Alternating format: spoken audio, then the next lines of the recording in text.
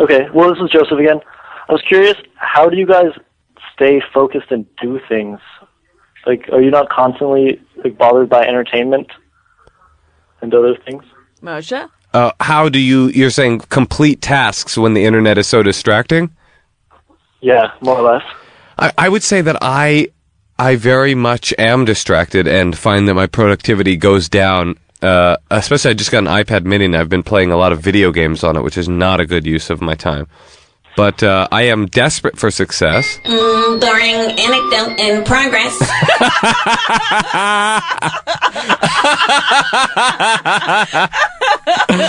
Oh, fair enough. I can't argue.